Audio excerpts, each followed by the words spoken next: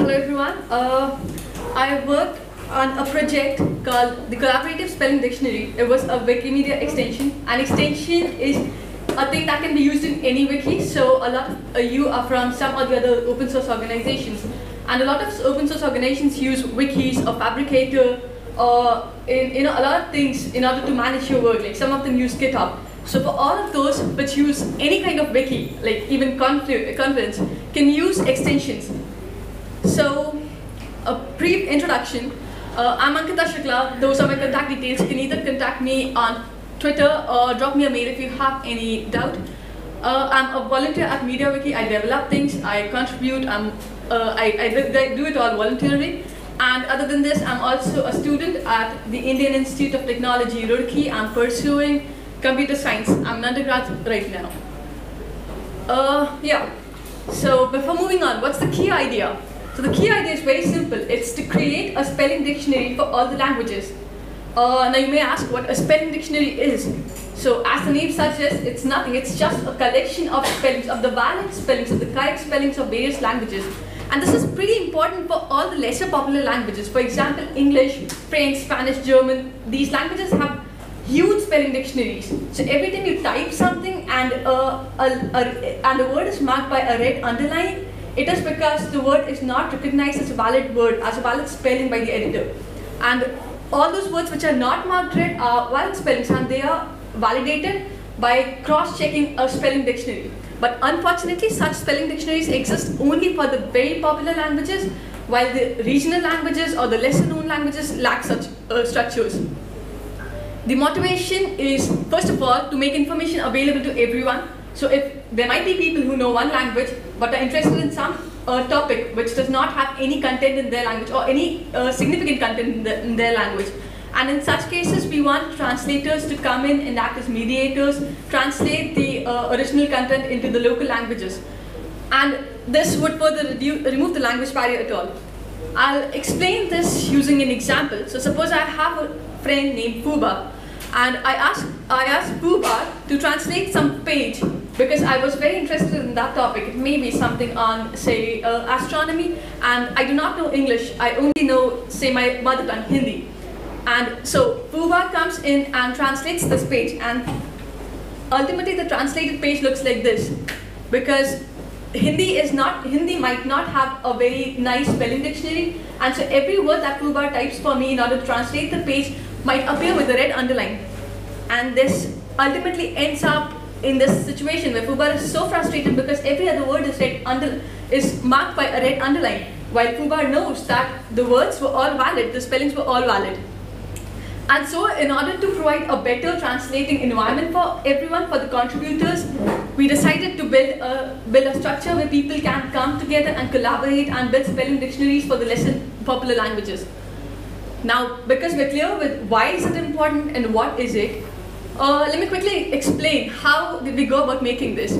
So we definitely needed uh, a portal where one could add the words, add the spellings. So suppose I know Hindi, and suppose I know some other languages well, maybe uh, uh, some regional language like Gujarati uh, in India, and I want to improve the collection of valid spellings in that language. So I, I'll just go go and access the portal. It's like a form.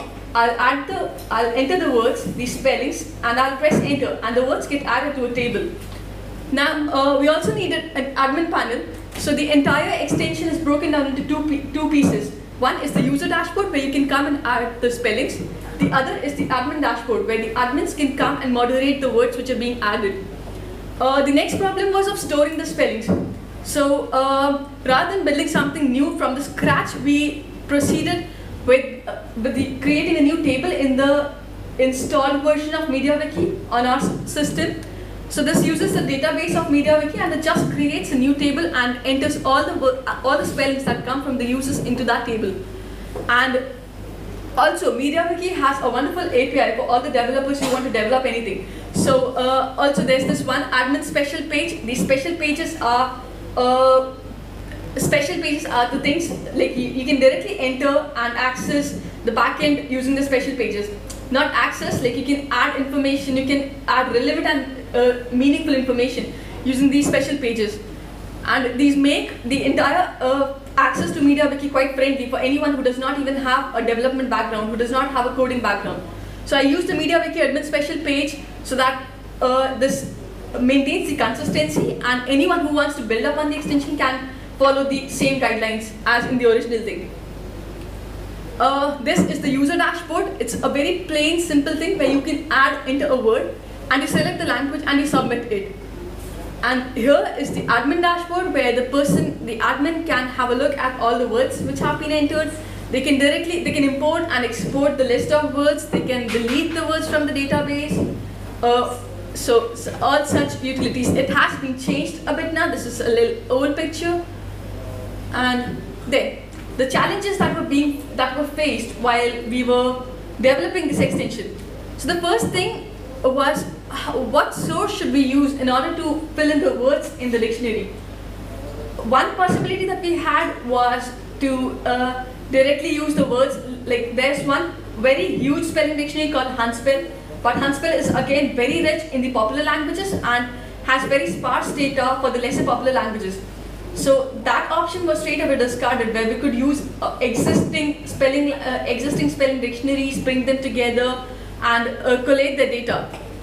So therefore, in aligning ourselves with the principle uh, on which the Wikimedia, Wikimedia Foundation works, we decided that we make this entire thing collaborative and we'll ask the users who are fluent in some language to add the spellings of their own languages.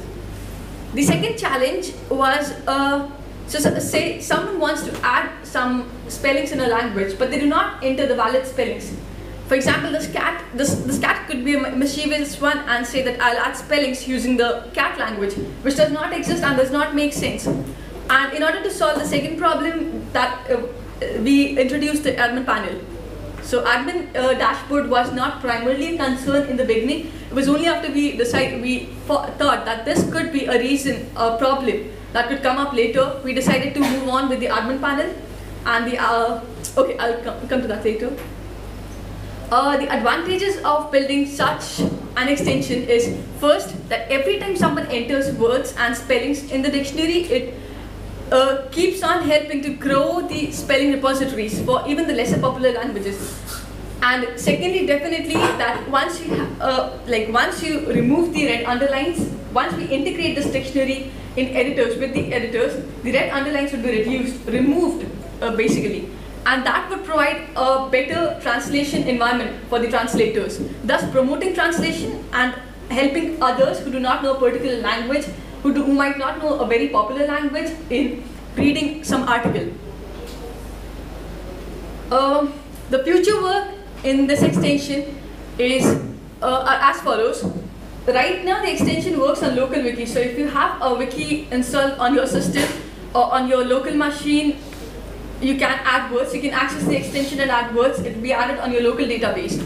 Uh, we are planning to install it on a, on a server where you can directly go and access the URL and the form comes up on your screen and you can directly add words to it like, uh, like you do to any other wiki page. The second thing is uh, adding the valid spellings in database. This is uh, for something uh, where right now the individuals can add the spellings and you have the database on your local repositories. What we're trying to do is, even if this goes on for some time, so suppose the Chinese community comes up uh, together and adds spellings to the Chinese uh, spelling dictionary in the Chinese language, and uh, say the Korean community comes together, the Asian community comes together, and we have these local uh, mutually exclusive spelling sets we are planning to like integrate them all together in a common in a common dictionary which can then be used with editors in future. This third point is a, is a huge step as our future work because it integrates the spelling dictionary to visual editor. Visual editor is the WYSIWYG editor that you see whenever you edit a page on Wikipedia or MediaWiki or any wiki site. And integrating it to visual editor would would be as good as integrating it to a Google Doc or something, where you where you on, where you edit the things online, where you translate things online, and it will check in real time if the spelling that you're entering is valid or not, and therefore remove the red underlines that's present in the spelling dictionary that has just been created. And fourth one is adding spellings using language text. What this means is that there are huge and there are rich language texts available. For example, books in a particular language. We can definitely uh, utilize those books, those resources, and those te textual information to extract all the words which are present in that text and add them to the to the spelling dictionary. Now, after knowing all of this, say you would want to help, and that's great for us. So we have uh, the two domains. One, where you can code, in which case you can help us improve the extension, you can add new features, and you can integrate it with your own wiki. And in case you're unable to uh, code, like you don't have a coding background, but you are a language expert and a pro in that, you can add spellings to the extension. You can be a language moderator. Being a language moderator means that uh, like you're expert in your language and you can go and check for the spellings which have been added by the other users in your community and see if the spelling is valid or not. If valid, you approve it. If not, you delete the spelling or mark it for uh, a review. And you can help in outreach. So there are still communities which do not know of such an extension which exists. And there are still communities which do not have lots of spelling page of lots of wiki pages in their language. There are still communities which do not have access to information because of the language barriers. So you can help in outreach where people, uh, where the linguists, at least the bilinguals in such communities can help add the spellings of their uh, language and thus, thus promote the translation. Also, uh, being a developer, if you help integrate this extension with your wiki, you're automatically uh, promoting those other three, uh, other three points where a user in your community might not be a developer but might be a language expert. And in order to learn more, these are the links. The first is the link of the extension where you can find the details of how can you install this and how do you set this up on your local system. The second is the link uh, of the Gerrit uh, repo where, which you can poke and push back your commits into this in order to contribute if you have any feature uh, suggestion or if you have any bug fixes or any improvement. And uh, if you're motivated and if you want to develop, if you have some idea and you want to develop your own extension, you can follow this last link where uh, it's, it's a very detailed tutorial for anyone, even if you're a beginner, and you can write your own extensions. So that's it. Any question?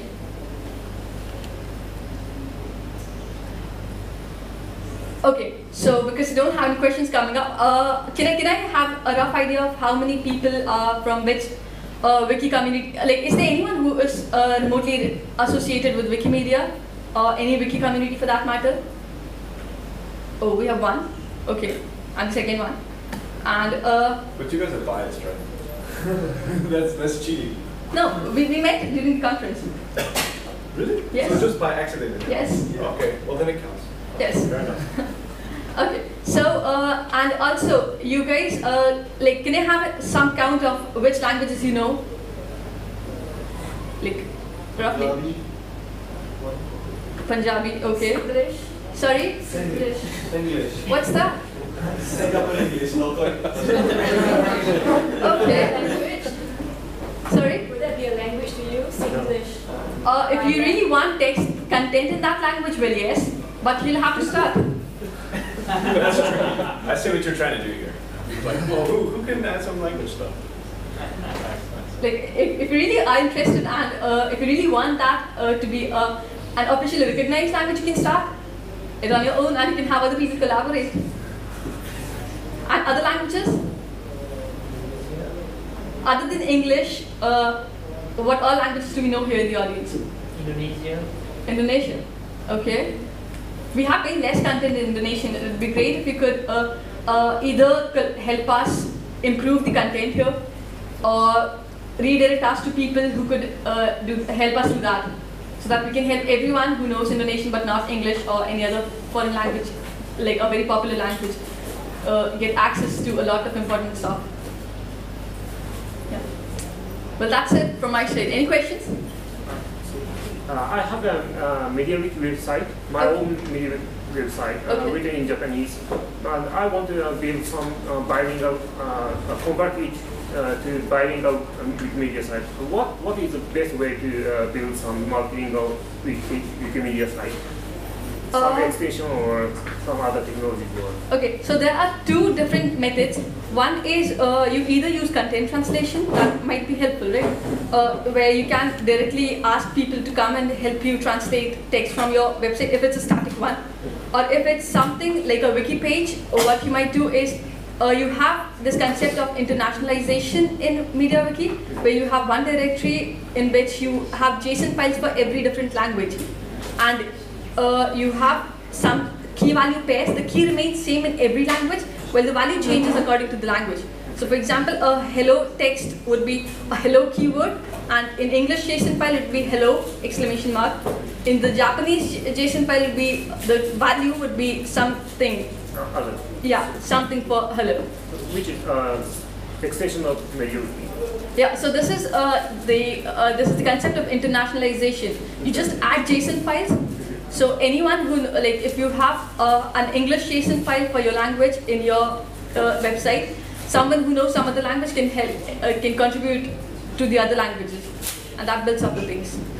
Also, there are lots of common strings which are, all, are like already available. So uh, like words like thank you and stuff, they're already available across the MediaWiki uh, language database. So you can directly use those as well. We can talk about that offline as well.